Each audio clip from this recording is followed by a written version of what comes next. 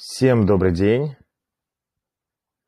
Сегодня у нас прямой эфир, и мы поговорим сегодня про виртуальную реальность в школах.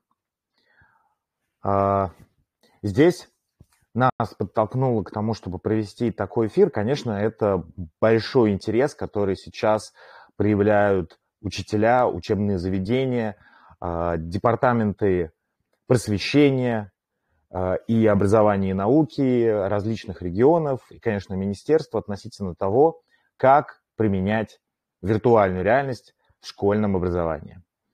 Мы, в принципе, видим то, что уже в России достаточно много школ, в которых появился VR, VR внедрили в образовательные процессы. Это и уроки по химии, и уроки по программированию. А, но на самом деле именно в образовательный процесс, то есть в стандартный образовательный процесс мало где пока еще VR внедрен. Чаще всего это кружки, это дополнительное образование и, конечно же, э, Олимпиада НТО.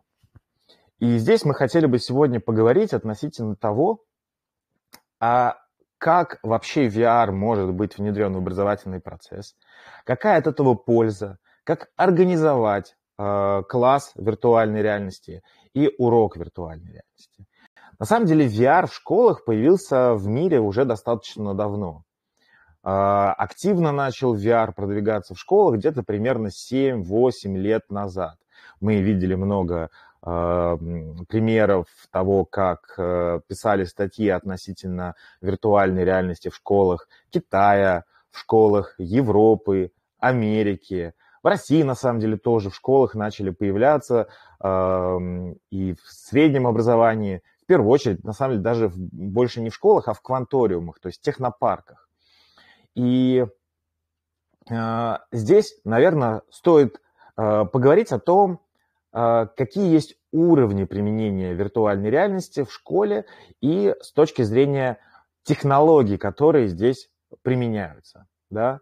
Если мы говорим про уровни применения VR в школах, то в первую очередь это получается дополнительное образование. То есть в школе появляется один-два а, комплекта виртуальной реальности, и у школьников и у учителей появляется возможность проводить дополнительные уроки, внеклассные занятия с применением технологий VR.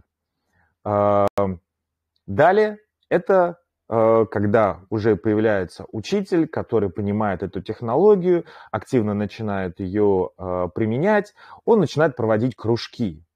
И, конечно же, это э, приводит к тому, что э, школа начинает участвовать в МТО и в кружковом движении, и, конечно, в Олимпиадах.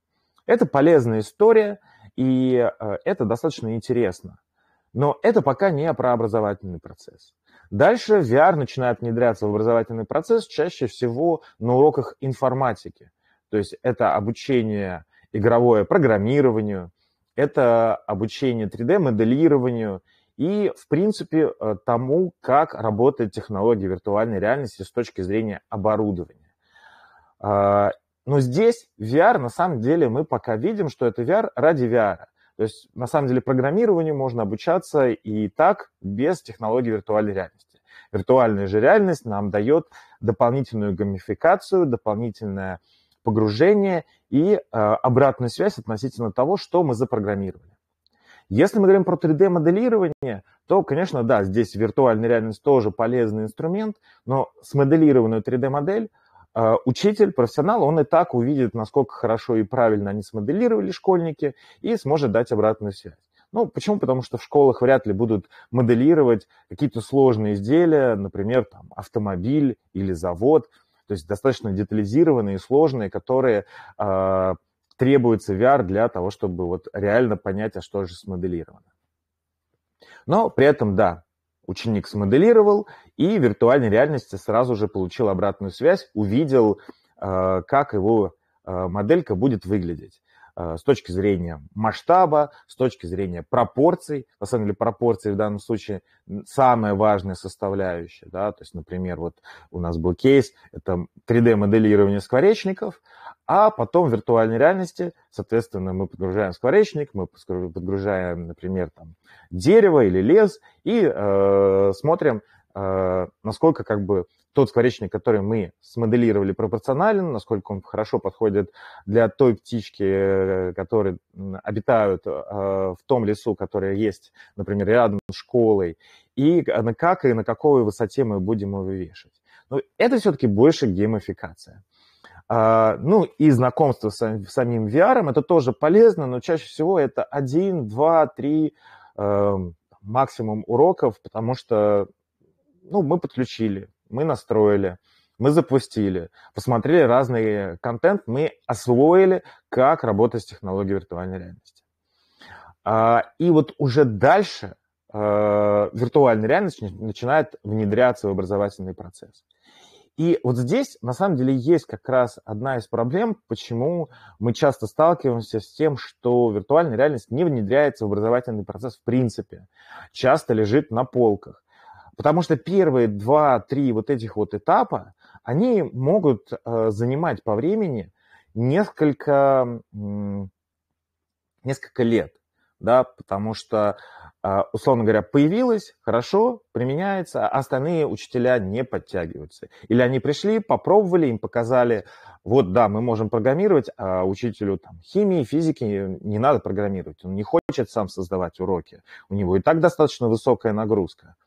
А, и поэтому вот это часто затормаживается на вот этих вот трех этапах. Ну и плюс, на самом деле, там еще упирается у нас это в количестве VR-оборудования. Да, потому что если у нас 2-3 комплекта, то нормально урок с такими комплектами не проведешь, потому что у нас класс, это там, ну, минимально это может быть там, 10 человек, да, а, но по факту в школе чаще всего класс это 20, 30 или даже больше учеников. И тут уже встает вопрос, что э, как же это организовать, как это оснастить и как это запустить. Второй момент относительно оборудования виртуальной реальности. Здесь мы тоже видим, на самом деле, вот эту вот этапность и шаги. И когда 7-8 а, лет назад первые а, были статьи, вот этот вот информационная информация относительно применения VR в школах, то в первую очередь это Э, был э, VR в виде картбордов, да, куда вставлялся смартфон, ученики надевали и смотрели не VR, они смотрели видео 360. То есть они могли поворачивать головой, они могли посмотреть контент, они не отвлекались э, на внешние факторы, они полностью погружались в тот видеоролик, который был запущен преподавателем. То есть здесь плюсы только в том, что вот у нас есть класс, на, них, на всех учеников надели э, очки 360. Э, учитель запустил э, видеоролик, ну, например, там, прогулка по лесу, он видит на большом экране или тоже надел, э, видит все то же самое, что видят ученики, но они не видят друг друга, они не могут перемещаться по этому лесу, они не могут с ним взаимодействовать. Они просто смотрят 360 видео, и по степени погруженности это очень мало чем отличается от видео, которое было бы запущено на экран. А, и поэтому здесь а, плюсы, наверное, только в цене. А, но если мы как бы идем дальше, да, и говорим о том, что сейчас с точки зрения цена, качества, возможности по оборудованию есть, то это автономные шлемы виртуальной реальности. То есть это полноценные шлемы VR, а, в которых мы можем загрузить а, концерт, а, можем загрузить контент, и, соответственно, там будет уже реально какой-то урок. Например, урок по химии. Но, опять-таки, здесь ученики, каждый будет отдан самому себе. Преподаватель не видит, что у них происходит совокупно, да, он, надо ему подходить каждому, использовать планшет, э, либо выводить у себя на компьютере, э, что каждый из них видит и что каждый из них э, делает. Но по факту здесь нацелено на то, что ученик надел шлем VR, у него там какое-то задание он видит, он его выполняет, и там, например, вот взять склянку, смешать, получить результат и по, по, э, по итогу, сняв шлем, получить оценку. Но э, здесь ограничения, они тоже у нас возникают. Во-первых, преподаватель не может вместе с ними погрузиться в этот контент, вместе с друг другом взаимодействовать, то есть нету социализации. А, здесь есть сложность относительно того, что у нас достаточно ограничен объем контента, который преподаватель может использовать на уроке. И а, поэтому следующий шаг – это шлем виртуальной реальности и компьютер или э, ноутбук. Лучше, конечно, брать компьютер, потому что по э, мощности и цене э, это будет гораздо выгоднее. Потому что если там, вам какие-то хочется очень сложные задачи, то ни один из ноутбуков их может, в принципе, просто не потянуть. А при этом стоить достаточно дорого. А компьютер может стоить недорого, при этом тянуть э, любые э, приложения, которые могут быть доступны учителю. И в этом плане получается, что э, класс виртуальной реальности, если мы берем вот максимально оптимальный и с широкими возможностями по применению, то это, конечно, должен быть компьютер, шлем виртуальной реальности. А, вот а, сейчас мы активно работаем с несколькими школами, а, и такой самый яркий у нас сейчас пример – это пилотное тестирование в РОЦ. 76, это реабилитационно-оздоровительный центр, то есть это школа, которой э, дети э, проходят обучение, и при этом э, им требуется постоянно мета, осмотр, ну, то есть при, присутствие медперсонала и медицинские процедуры. И классы здесь небольшие, и это как бы в данном случае было, упрощало нам задачу по пилотированию, потому что класс в этой школе это 8-10 учеников. И во время проведения э, вот этого пилота и взаимодействия с другими школами, на самом деле мы выявили еще очень важный момент. Это э, то, что хорошо наличие оборудования, контента. Но самое важное, это, конечно, сценарий урока.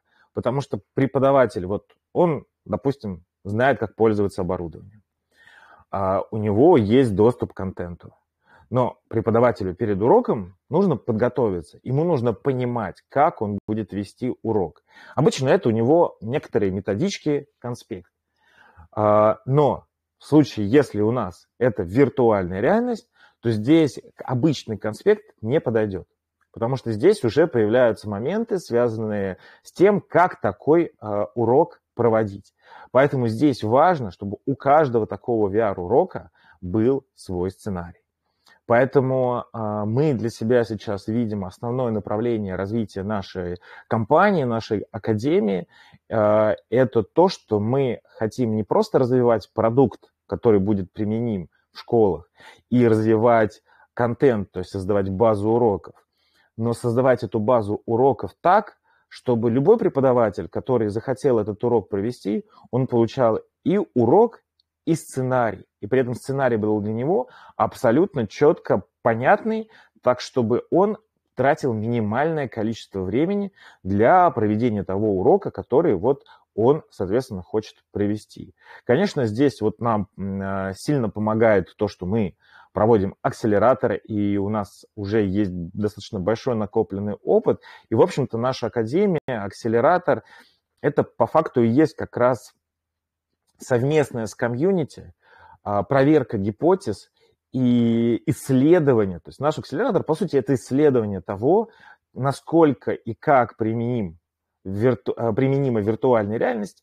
в школах, как организовать урок, как э, сделать так, чтобы VR максимально гармонично и легко внедрялся в образовательный процесс. Давайте перейдем к вопросам, которые у нас есть к сегодняшнему прямому эфиру. Ну, наверное, главный первый вопрос э, – это чем интересен VR для школы?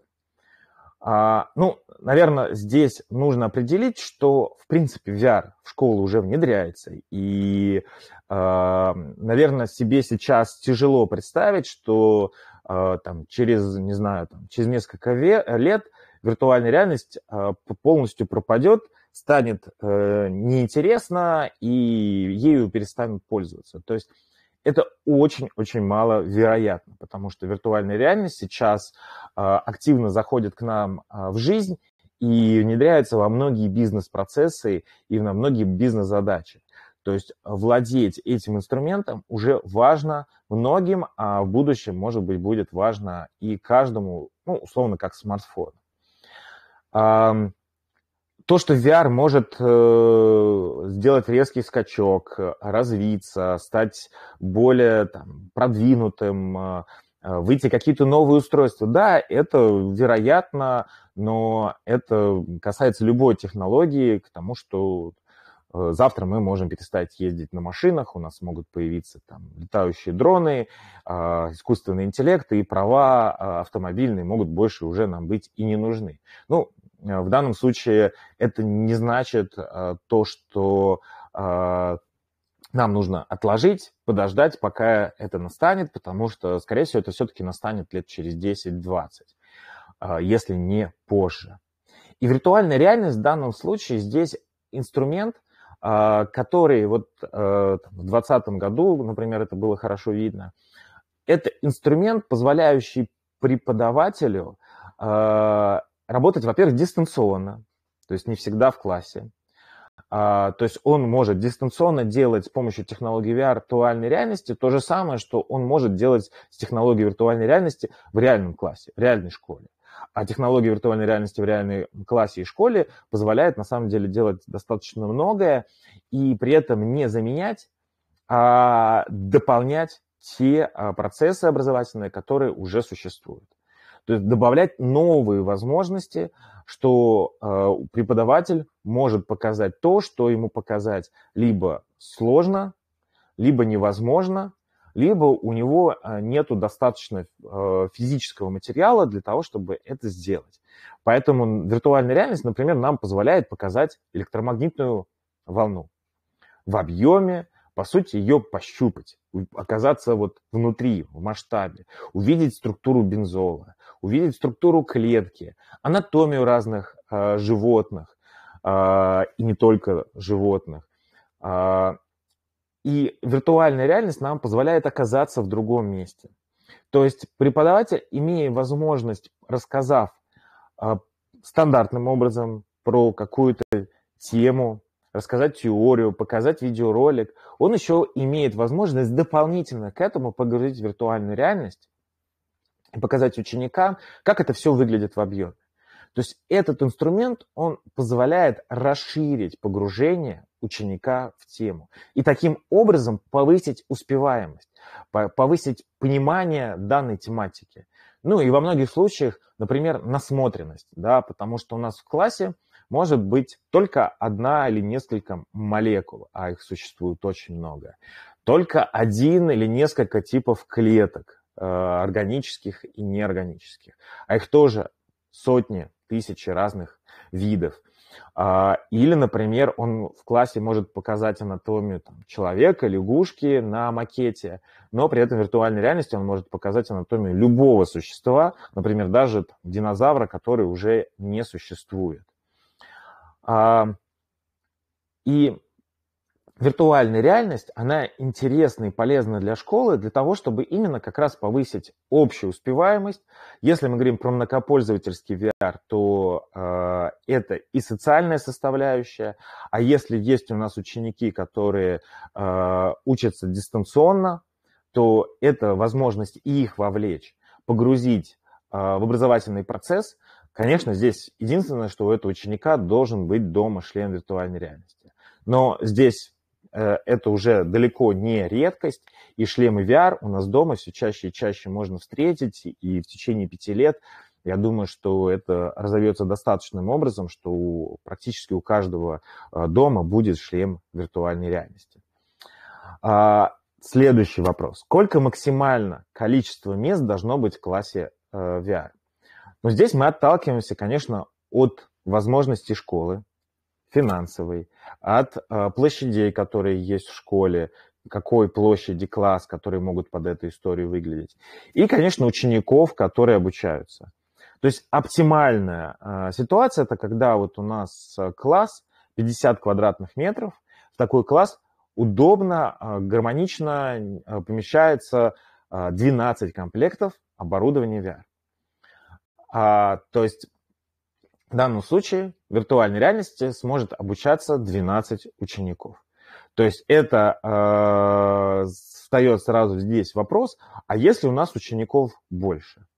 Ну, на самом деле, э, в данном случае можно, э, так как мы говорим о том, что э, урок мы можем проводить гибридно, э, параллельно, то, например, если у нас класс из 24 учеников, то, значит, в виртуальной реальности они могут заходить по очереди.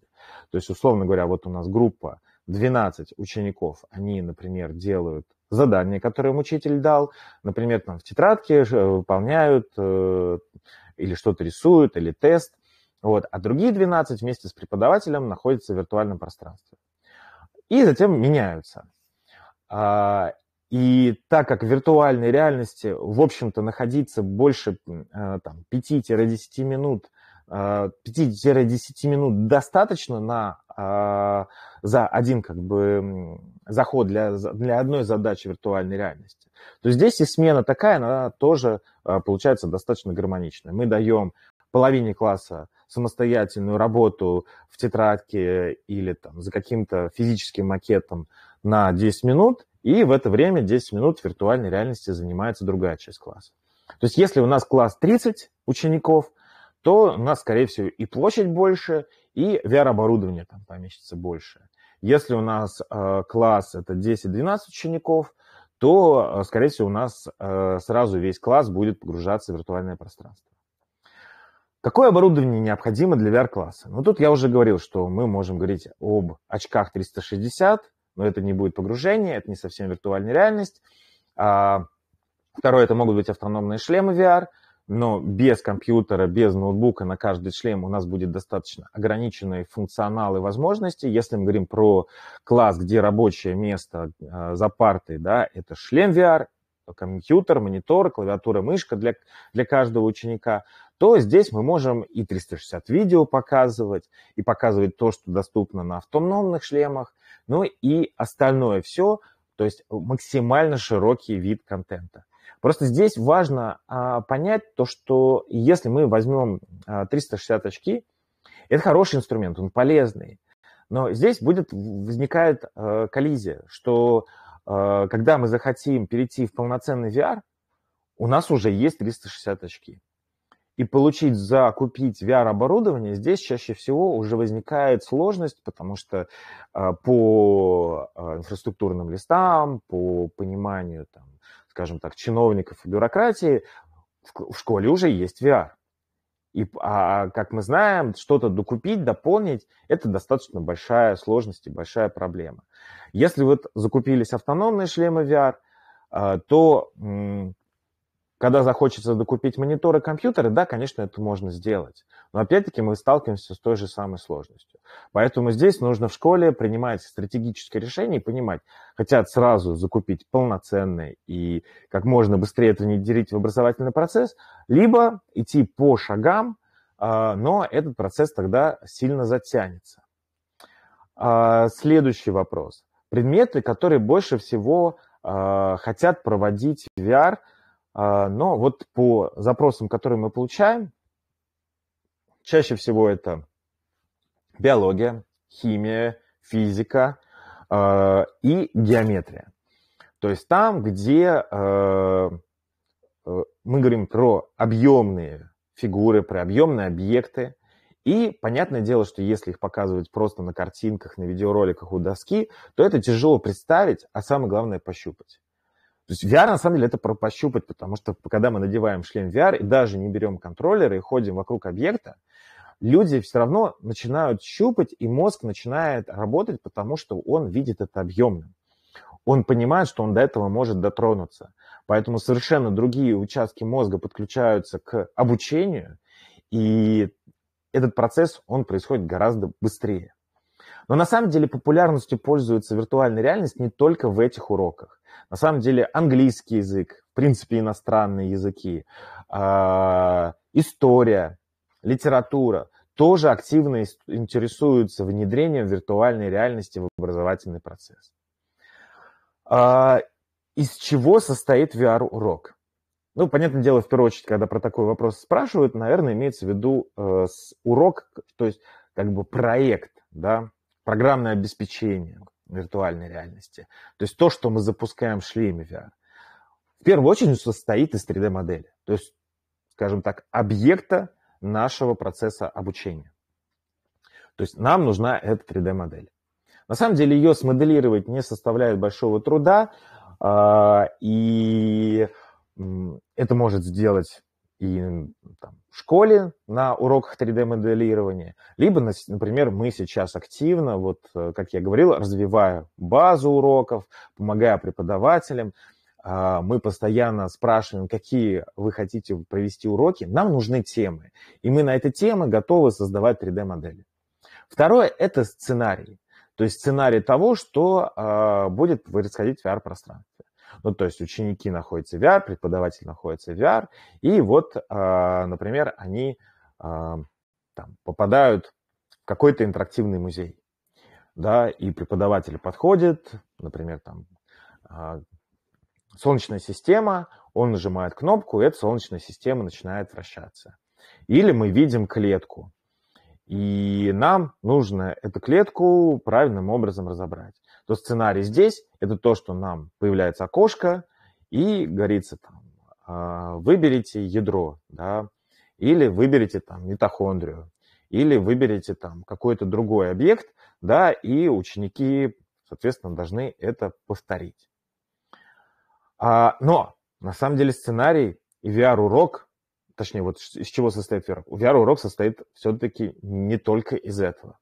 VR-урок, он состоит из класса, учеников, преподавателя, а, оборудования виртуальной реальности, вот этого VR-контента, но самое главное, это сценария. Сценарий не того, что мы будем в виртуальной реальности делать, а сценарий того, как а, преподаватель, как учитель вот этот урок проводит.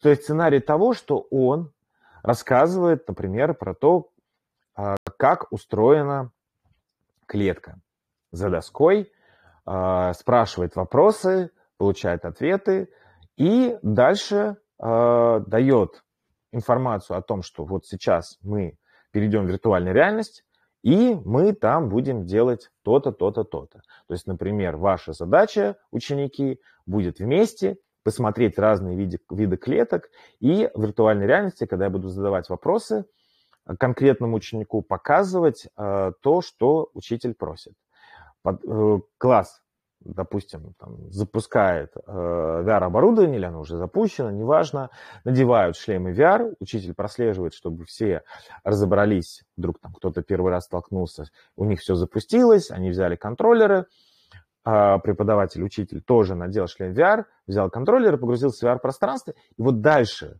сценарий должен тоже быть четко прописан, что учитель берет всем, говорит, так, подойдите вот, допустим, э, в комнату номер один, подойдите ко мне, встанем вокруг, вот, вокруг этой клетки, учитель подходит и прям по сценарию начинает рассказывать, спрашивать, показывать, подводить учеников, просить их интерактивно взаимодействовать с той 3D-моделью, которая в виртуальной реальности подгружена.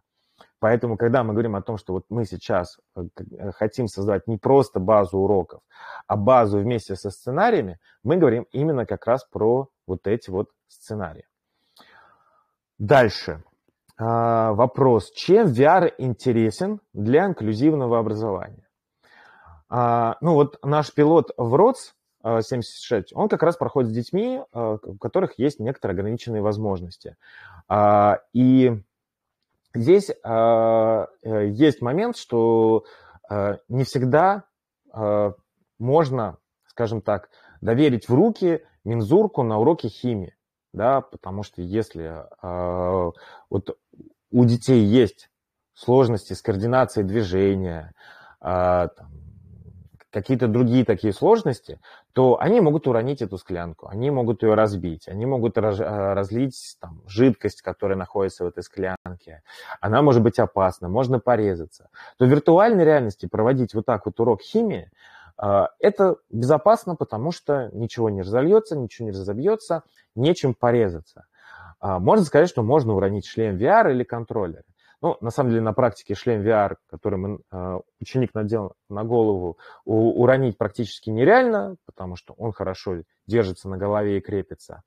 А контроллеры, которые мы берем в руки, они на специальных тесемках, которые крепятся, и если как бы мы уронили контроллеры, они просто виснут а, на руке. Ну и плюс Конечно, если мы говорим про дистанционное образование, то есть когда, например, а, ребенок обучается на дому, у него есть шлем VR, и он с помощью этого шлема VR может погружаться в виртуальное пространство вместе с классом а, в то же самое вот, а, виртуальное пространство и видеть друг друга и также взаимодействовать, при этом находясь дома. Следующий вопрос такой провокационный немножко, как учителя относятся к цифровизации, внедрению VR а, а, в школах. Ну, понятное дело, что на самом деле тут вопрос очень широкий. Как э, учителя, как, скажем так, сотрудники компании относятся к цифровизации, внедрению виртуальной реальности в промышленность, строительство, бизнес, финансовый сектор. На самом деле с этим сталкиваются все. А, компании, учебные заведения, вузы, когда идет внедрение VR. То есть настороженно и консервативно это нормально для человека. Потому что если мы сталкиваемся с чем-то новым, мы, э, естественно, его побаимся, побаимся того, что это будет сложно, что это потратит наше время и что мы не получим того эффекта, э, который ожидаем. Да? То есть на самом деле здесь есть важный момент, что э, человек, когда вот ему дают оборудование VR, говорят, вот у тебя есть теперь класс, в котором ты можешь, например, проводить уроки, и э, зачем? А получится у нас повышение эффекта. И он, э, человек боится, что вот он начнет это применять, разберется, а эффект не будет достигнут. Да, этого боятся на самом деле очень многие, потому что э, есть высокие, а часто даже завышенные ожидания, а эффект он достигается, но достигается все-таки не сразу, а по прошествии некоторого времени. Поэтому здесь при внедрении виртуальной реальности важно получать как раз э, поддержку. Э, и вот э, мы нацелены как раз на то, чтобы такую поддержку давать, э, потому что вот есть учитель, который начинает проводить уроки, у него что-то не получается, а в своем окружении, в школе, там, с друзьями, он не может получить поддержку, потому что так как технология виртуальной реальности не широко распространена, у него некого получить поддержку. Поэтому наша цель это как раз э, создавать вот эти вот условия, э, что, например, кто угодно может к нам прийти в академию и задать, задать нам вопросы. Наша цель дать ответы на эти вопросы и дать эту поддержку. Если мы говорим про те по, по сути, про наших клиентов, да, там, из нефтегаза или там, из машиностроения, из вузов, из школ, то э, всем мы э, предлагаем вот этот вот, скажем так, как услугу, да, а, оказываем поддержку. Причем э, мы сотрудничаем э, с большим сейчас количеством вузов и школ и проводим проектную деятельность, то есть когда мы договоримся с вузом, что у нас два раза в месяц проходит встреча, а, на который приходят все преподаватели, которые пользуются оборудованием VR, могут приходить а, там, магистры, аспиранты, студенты, если мы говорим про вуз. И а, мы предлагаем сначала поделиться, а что получилось, что не получилось.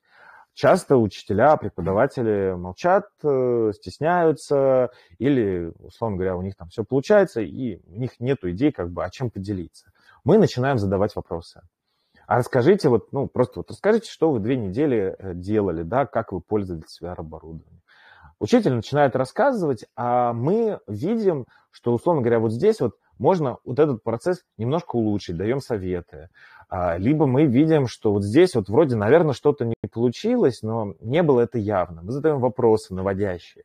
То есть мы вот в рамках такой вот поддержки максимально стараемся и поддержать преподавателя, или учителя, учителя. И при этом выявить у него потребность, какие-то желания, да, которые, может быть, он даже пока не до конца осознал, но он видит, что он хотел бы это от VR получить. Для чего? Для того, чтобы потом взять и постараться это за какое-то время реализовать и дать это учитель и преподаватель. Поэтому, а, конечно, учителя сначала а, очень осторожно относятся, потом, когда э, попробуют это, увидят какой-то первый результат, появляется воодушевление, э, видя обратную реакцию учеников, вот, и дальше уже появляется внедрить желание это в образовательный процесс. Но тут э, часто как бы сталкиваются с тем, что вот э, им требуется эта поддержка, а не всегда эту поддержку они получают от коллег или, там, если мы говорим про какие-то другие решения, там, от производителя оборудования, а, то вот эм, это может быть стопом дальнейшего развития. Поэтому на самом деле вот важно здесь, конечно, эту обратную связь давать разработчикам, давать нам. Нам она очень нужна и задавать нам вопросы для того, чтобы мы могли развивать и продукт, и развивать, создавать новые уроки, а главное и развивать методики по внедрению виртуальной реальности в образовательный процесс. А, так, так, так. Ну, остальные вопросы у нас дублируются. Так, если у вас есть вопросы, можете их написать в чат.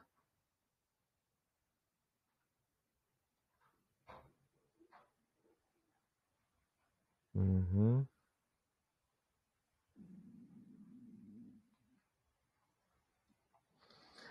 Ну, на самом деле, вот по, по чатику в Телеграме мы видим вот то, как сложно нам всем взаимодействовать с новыми продуктами, да, то, что вот мы уже давно все пользуются Телеграмом, но при этом вот не всегда знаем о каких-то его там новых фишечках, возможностях.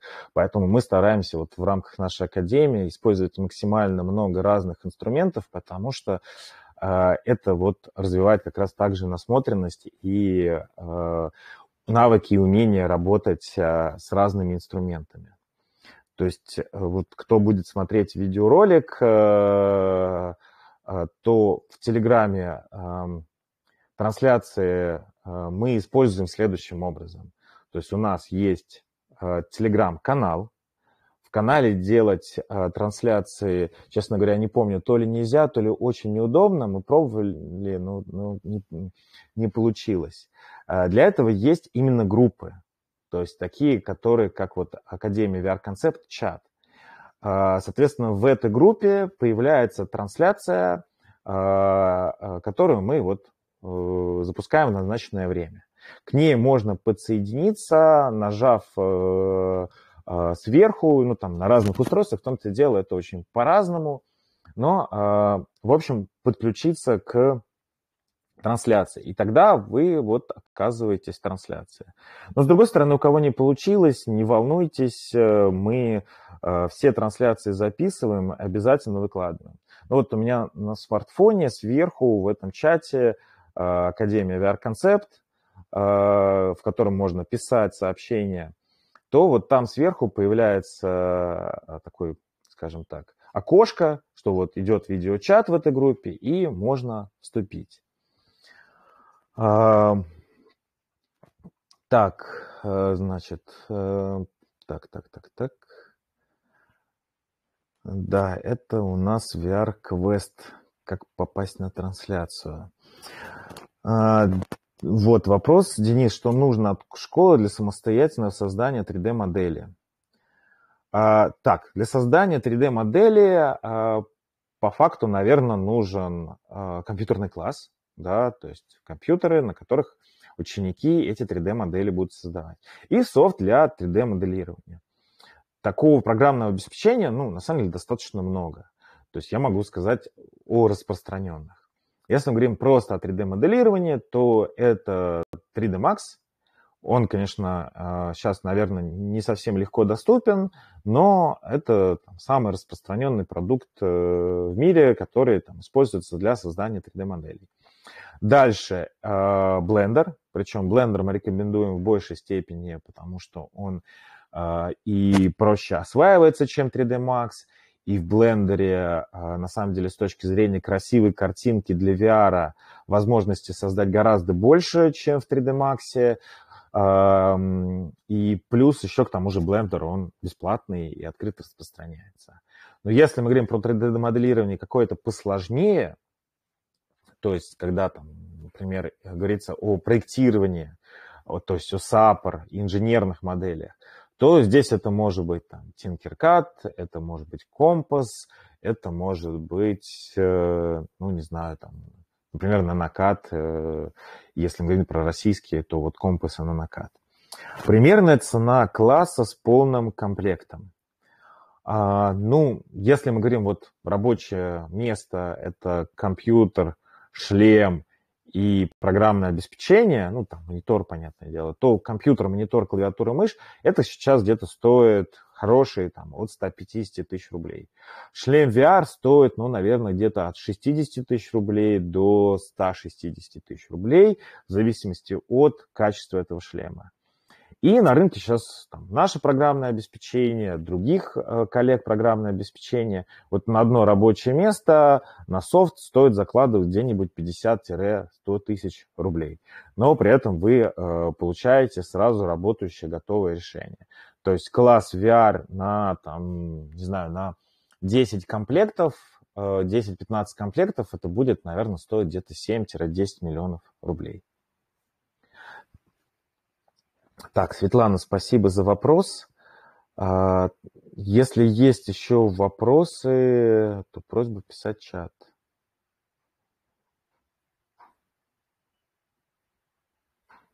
Так, вопрос. Добрый день. Планирую в начале апреля принять участие в региональном форуме по теме VR в школе с позиции интегратора и поставщика услуг можете поделиться контентом для презентации с условием продвижения вашего продукта через нас. Да, конечно, Ирина, спасибо за предложение. А, давайте, наверное, мы с вами просто лично там коллеги свяжутся, обсудят. Э, а, в принципе, мы только за.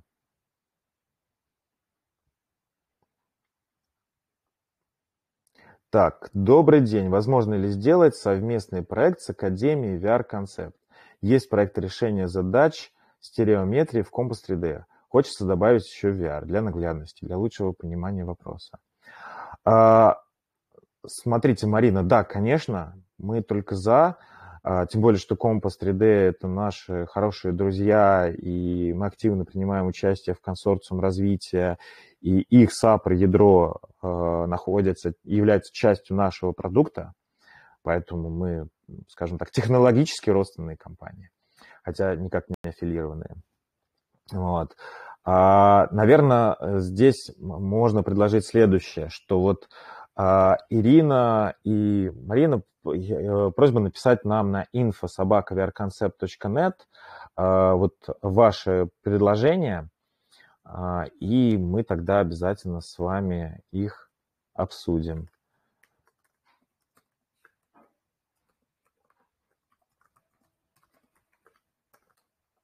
Так, эм, дальше. Может ли школа стать методической площадкой для распространения VR в нашем округе?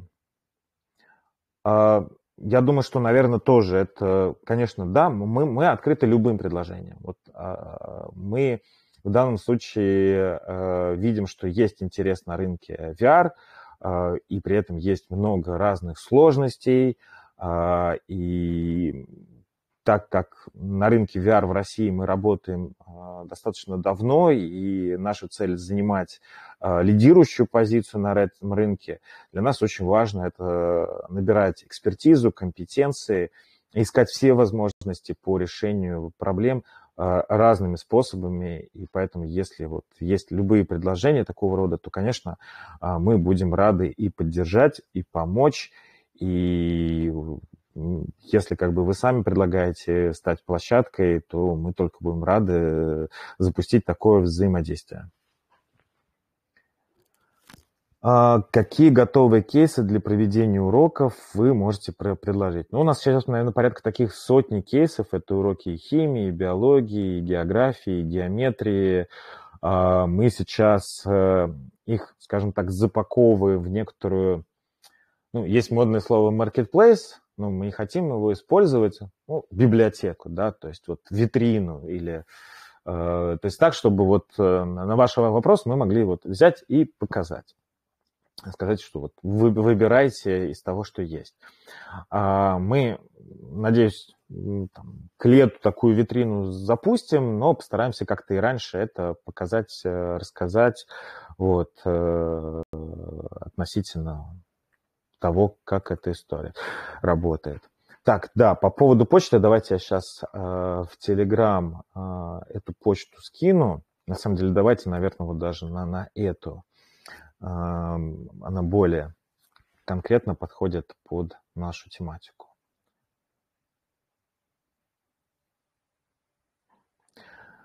Электронная библиотека с дополненной реальностью.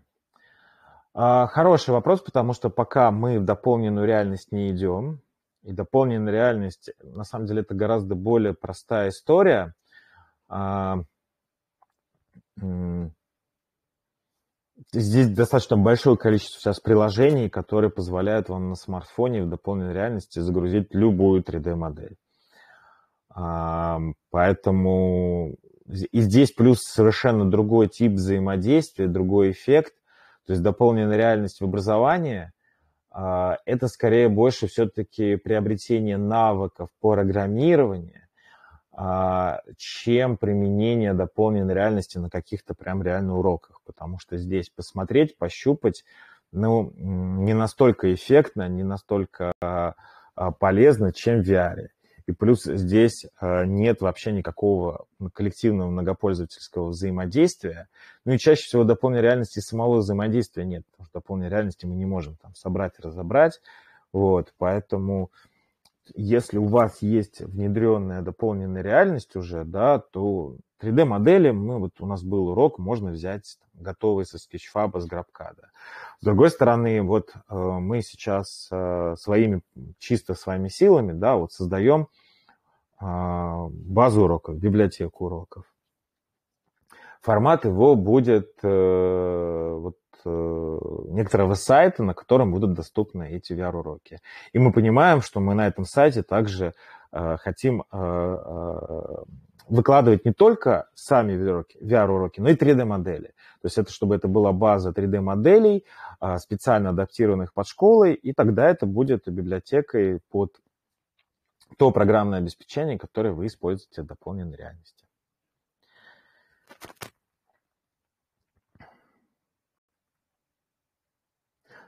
Так, ну, сегодняшний прямой эфир у нас подходит к концу.